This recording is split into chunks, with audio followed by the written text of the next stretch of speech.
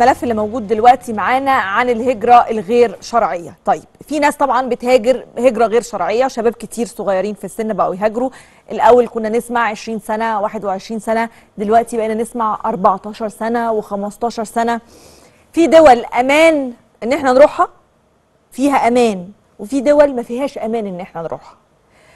المكسيك في مناطق جوه المكسيك كتير خطر جدا جدا.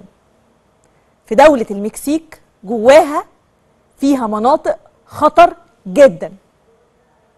عندنا ولاد مصريين راحوا المكسيك هجرة غير شرعية. معرفش بقى هي المكسيك كانت آخر محطة ليهم ولا هما كانوا ناويين يكملوا بعد كده على أمريكا؟ عشان في ناس بتاخد المكسيك دي بتبقى إيه؟ يعني في ضمن الرحلة إن هي إيه؟ مهاجرة على أمريكا هجرة غير شرعية. طبعا الموضوع صعب مش سهل يعني إحنا بنتكلم فيه كده وإحنا قاعدين هو الموضوع صعب جدا إن هو يتحقق يعني. ولدين؟ ولدين. أول واحد اسمه لبيب عبد الملك عنده 15 سنة والتاني اسمه إسحاق نسيم عبد المسيح وعنده 17 سنة. ولد عنده 15 سنة لبيب وولد تاني عنده 17 سنة إسحاق. الولدين دول ولدين مصريين هاجروا هجرة غير شرعية وصلوا لحد المكسيك. المكسيك بلد فيها مناطق ما فيهاش أمان خالص. عصابات تجارة بشر تجارة أعضاء تجارة رقيق هي البلد في مناطق فيها مش أمان نهائي. الولدين اختفوا. اختفوا. بعد ما كانوا الدولة واخداهم وحطاهم في ملاجئ معينة اختفوا. مش بس كده طلع النائب العام في ولاية سونارا المكسيكية بيقول إنه ممكن يكون تعرضوا لأي نوع من أنواع الأذى وممكن يكون أذى جسدي. طيب يعني ممكن نفكر في إيه؟ تجارة أعضاء ولا ولا تجارة يعني هنفكر في إيه؟ راحوا فين؟ ما هو يعني عصابات بقى. هو الفكرة في هنا في إيه؟ الناس اللي. اللي مهاجرة هجرة غير شرعية. أنت في بلد ما فيهاش أمان حصل لك أي حاجة انت داخل البلد دي بطريقة غير شرعية أصلا. ليك دية؟ حد هيدور عليك؟ حد هيشوف رحت فين؟ حد هيسأل عليك؟ وخاصة لو الدولة دولة خطر وفيها مناطق خطر جدا لعلمك المكسيك إحنا سمعنا عن حوادث كتير بتحصل هناك. معانا على التليفون السفير رخا أحمد حسن مساعد وزير الخارجية الأسبق. أهلا وسهلا يا فندم. أهلا بيكي والساده المشاهدين. أهلا بحضرتك. طيب دلوقتي الهجرة غير شرعية إحنا اتناقشنا فيها كتير جدا قبل كده. خليني بس أنا عايزة آخد جزئية منها. ال ال ال البلاد الخطر البلاد اللي متصنفة إنها خطر هل فعلا في مناطق في دولة المكسيك خطر جدا؟ يعني هو ابتداء اللي بيهاجر هجرة غير شرعية بيتعامل بطريقة غير شرعية بيدخل فيها عصابات وزي ما انت اشرتي في تقريرك إن هي بيدخل فيها ممكن تجار بشر تجار أعضاء مهربي مخدرات عمليات ابتزاز اختلاف. يعني فبيدخل فيها كل احتمالات المخاطر. طبعا. لأنها بتعامل أساسا مع ناس خارج القانون. أيوه. منطقة الحدود بين الولايات المتحدة الأمريكية والمكسيك دي معروفة يعني إنها منطقة آه تهريب بشر. آه وعصابات متخصصة سواء بيجوا من أمريكا الوسطى أو بدأ في العشر سنين الأخيرة آه بيجوا من مناطق مختلفة. يعني كان الأول الحصول للمصريين على تأشيرة لزيارة المكسيك أو سياحة في المكسيك لأن المكسيك بلد سياحة من الدرجة الأولى. أنا خدمت في المكسيك أربع سنين. م. فكانت سهلة الحصول على التأشيرة. دلوقتي بقت عملية في منتهى الصعوبة وأبسط حاجة بيرفضوا. ليه؟ لأنهم عارفين إن اللي رايح هو مجرد وسيلة إن هو يدخل من منطقتين إما لاريدو ودي مدينة حرة نصها في المكسيك ونصها في الولايات المتحدة الأمريكية أو من تيخوانا في الشمال عند كاليفورنيا برضو منطقة حرة نصها في المكسيك ونصها في الولايات المتحدة الأمريكية. عصابات التهريب على الجانبين يعني على الجانب الأمريكي وعلى الجانب المكسيكي. ليه على الجانب الأمريكي؟ لأن بياخدوا الناس دي بيشغلوها بدون تأمين آه، بدون أي ضمانات مظبوط.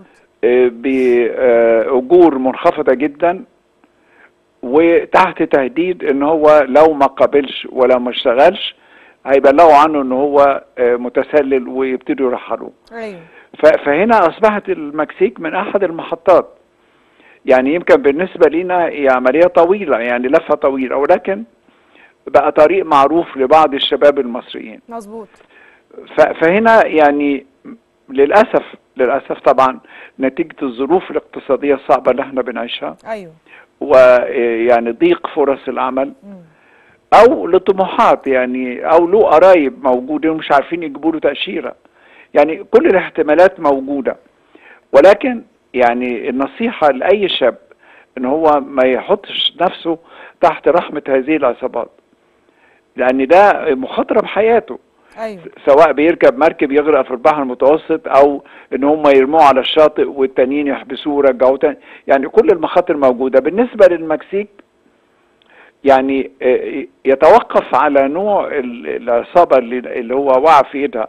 هل هو فعلا وقع في عصابة؟ أو إن هو هرب ممكن يكون هرب برضو أن- آه، بالظبط كده يا فندم. أو إن هو حس إن ال- الحلقة ضاقت عليه فجابوا ناس شجعوهم إن هم يهربوا. مظبوط ممكن. هل هو كان معاه آه، فلوس أو ذهب؟ لأن دايما في ال- ال- اللي بيهاجروا هجره غير شرعيه بيبقى عامل سلسلة ذهب ومش عارف إيه عشان لو اتزنق بيبيعها. أيوه. ف يعني في الاحتمالات موجودة. عارف حضرتك بس سنهم صغير قوي 15 سنة و17 سنة صغيرين. هو يعني السؤال برضو إزاي أهاليهم يسمحوا لهم. مم. يعني ده سؤال مهم جدا لأن التذكرة مش رخيصة. ما إحنا يعني ما نعرفش بقى هو هو وصل إزاي ولا إيه اللي حصل بس آه لا يعني يوصل هي الرحلة مش رخيصة. يوصل بالطيران إنما آه. هو التذكرة مش رخيصة. مش رخيصة لا. فلو سافر لازم بمعرفة أهله ما هوش هربان. مم. وإلا كانوا بلغوا عن ابنهم إن هو هربان. فهي العملية داخل فيها ظروف اقتصادية واجتماعية وقلة وعي. يعني أهم حاجة هي قلة الوعي. مم. يعني إزاي واحد يرمي بنفسه في مخاطر هو مش عارف يحصل له إيه. صح. صح. ف... فلازم يعني يبقى في آه، وعي من ال... من الأهل طبعا. ومن ال- ال- المنظمات المجتمع المدني مم. آه، وزارة الشؤون الاجتماعية. لازم وعلى فكرة هو هل تعتقد إن ال ال ال ال ال الجانب المكسيكي ممكن بي عايز يصدر لنا الصورة دي إنه ممكن يكون حصل لهم أذى جسدي أو حاجة زي كده بحيث إن هو يعني خلاص ارحمونا بقى شوية من ال من الهجرة غير شرعية؟ لا لا إحنا أقل دولة ده هم عندهم آه. يعني أمواج من من المكسيكان نفسهم. امم يعني لأن جنوب المكسيك أقل تقدما من الوسط والشمال. امم ففي مهاجرين من جنوب المكسيك من ولايات من تحت. أنا قصدي أقول إن ال- ال- المهاجرين هجرة غير شرعية هم ما دول كله هجرة غير آه شرعية دول مادة دول دول دول مادة آه، آه، بالنسبة للعصابات وبالنسبة للمجرمين آه، حاجة ببلاش كده إن هم يستغلوها. سواء كانت في تجارة الأعضاء أو سواء في تجارة البشر أو سواء في يشتغلوا في المخدرات أو كذا وكذا أما أنا عندي إيد عاملة ببلاش. لا هو غير كده يعني هم. بيبتزوهم بياخدوا منهم فلوس ع- يعني كتير عشان يهربوه. يعني هو الواحد فيهم مش هيدفع أقل ما بين 5000 ل 8000 دولار. آه. يعني ما هو برضو ما هو ده السؤال برضو اللي أنا بطرحه. إزاي أهاليهم يسمحوا بحاجة زي كده؟ يعني لو كان استثمارهم هنا؟ يعني على أي حال، على فهو- صغير أو حاجة. هو هو إلى أن يعني لأن ال- المكسيك فيها عصابات وهو الثقافة المكسيكية. يعني الثقافة المكسيكية وارثينها عن الأزتيك والمايا. إن القتل ده حاجة عادية يعني ما هوش مشكلة كبيرة. مظبوط مظبوط. يعني حتى بينهم وبين بعض يعني. مم. أيوه أيوه أيوه. فالتصفية الجسدية فهو يعني نأمل نأمل إن هو يكونوا هربوا مع حد أو إن هم آه، يعني خضعوا لخديعة تانية ولسه عايشين يعني. نأمل بكده السفير رخا أحمد حسن مساعد وزير الخارجية الأسبق بشكرك جدا آه، على المداخلة. يعني موضوع الهجرة غير شرعية موضوع خطر. أنا بس اللي عايزة أقوله في الملف ده في مناطق وفي بلاد هي متصنفة إنها خطر. يعني أنتوا حتى لو دخلتوا وعملتوا سيرش عليها ودورتوا هتلاقوها إن هي متصنفة منطقة خطر. فيها نسبة جرائم كبيرة فيها خطف كتير فيها قتل كتير. ففي مناطق متصنفة إنها خطر فأنا ب- بسافر شرعي بسافر غير شرعي أنا أبعد عن المناطق الخطر أصلا. طيب ده كان ملف.